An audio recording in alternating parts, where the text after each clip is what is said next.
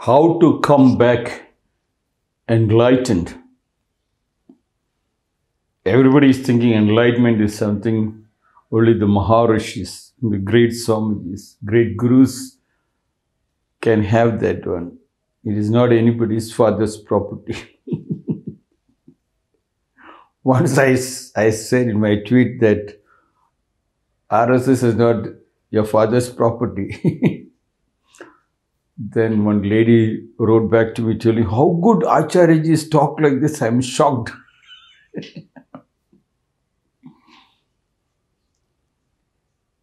Come back enlightened.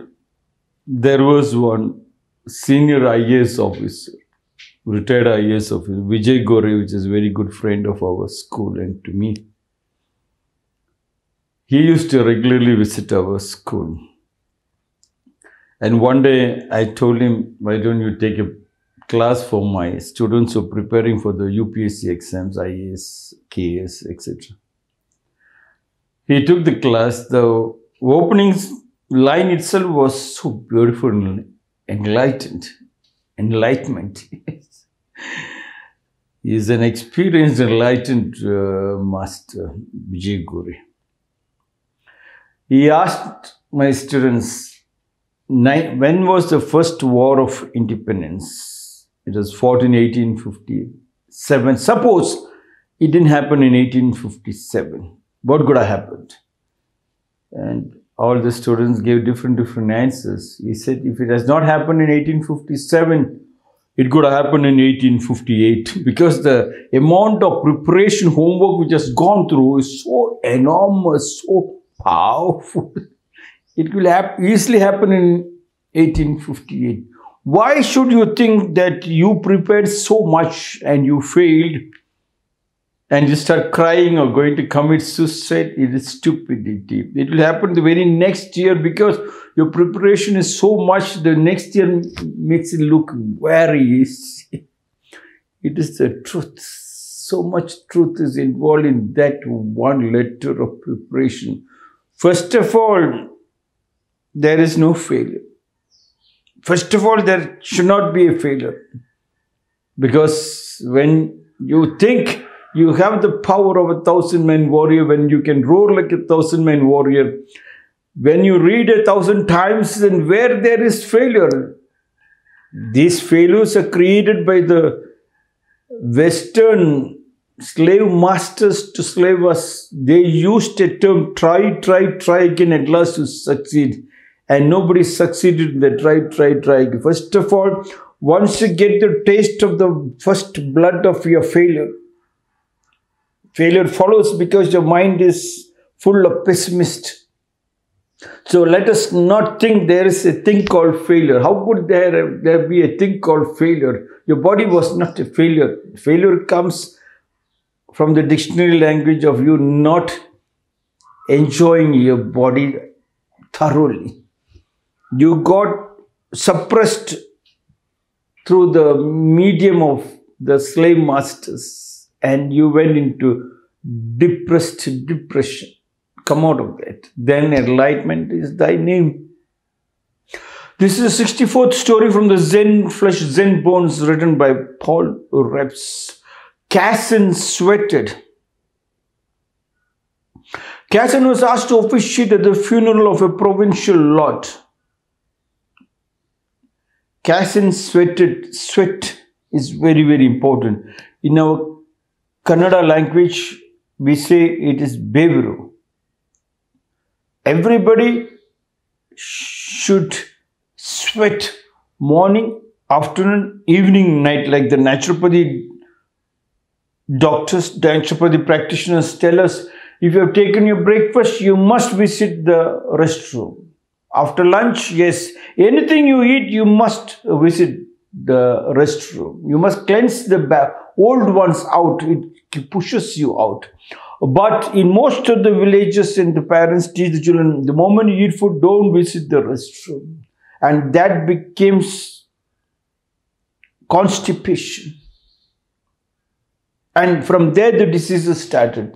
You should sweat morning, afternoon, evening, if possible in the night also. Yes. Sweat is very important. If you don't sweat in Kannada, we call for sweat bevru. Bevru bandilandra.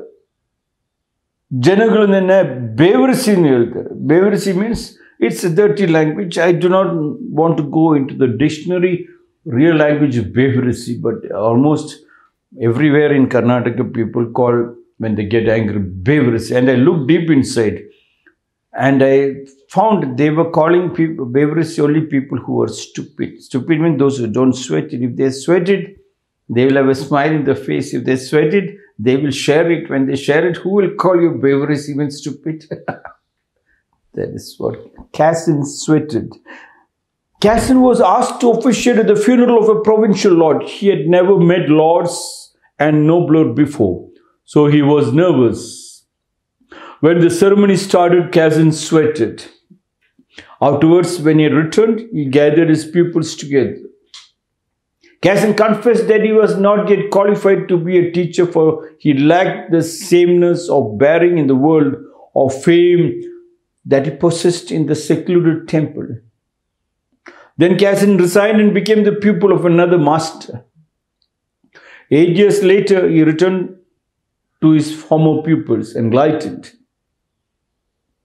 Yes, here the master goes to officiate a ceremony where he was kept secluded in the temple for years, like how you are secluded inside the homes, secluded in your jails called the schools. They call it pre-primary school, primary school, high school, PUC, degree, college. So many jails you go through. Jails, perfect jails. Hence, there is poverty. Can you believe millions of kids are in the jails in the name of education? Government policy needs changes. If those children can be diverted to the usage of the circumstances of that particular area, that area is the richest. They were never been used.